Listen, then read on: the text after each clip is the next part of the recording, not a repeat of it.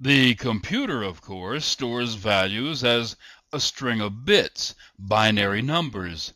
To understand assembly language programs, to be able to read listings and debug the programs, you need to understand Boolean algebra, also known as the binary system. It works the same way as the system you're used to, which has 10 digits. The binary system has only 2, but any integer value can be represented with just these two.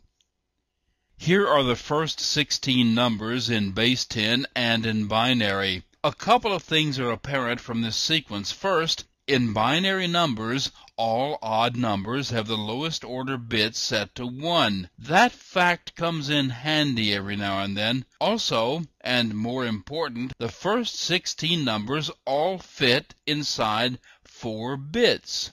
A string of ones and zeros is hard to read, so we've devised a code that can be used to represent a binary number. It's called hexadecimal. Each hexadecimal digit represents 4 bits. The hexadecimal numbering system has 16 digits. It's nothing more than an easy to read form of representing binary numbers. It's especially handy when you need to represent a number longer than 4 bits. For example, this number is a little difficult to read without counting the bits to figure it out, but the same number written as a pair of hexadecimal digits is much easier. With a little practice, you can become almost as comfortable with hex as you are with base 10. The whole trick is to organize the bits into groups of four, then assign a letter to each group. Another way to write this same value is with octal digits. It takes three digits to represent an 8-bit value. The first digit represents the first two bits,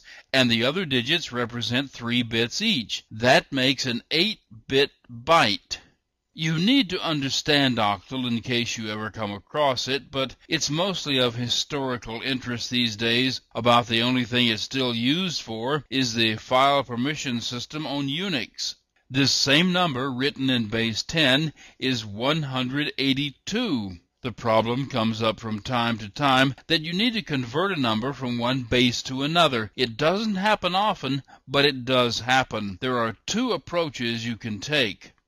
First, let me convert a number from hex to base 10. This is the hexadecimal value 3C4. In base 10, each digit represents a power of 10, and in base 16, each digit represents a power of 16, so it can be converted with this expression.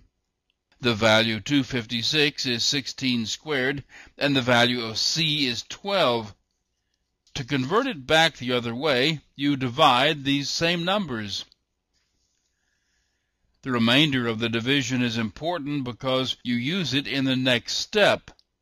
The last remainder is divided by 16 to the power 0, which is 1. The result is the three digits in the result 3, 12, and 4 which is written in hex digits as 3C4. The key to doing this sort of conversion is practice. If you want to get good at this, make up some hex numbers and convert them from base 10 and then back.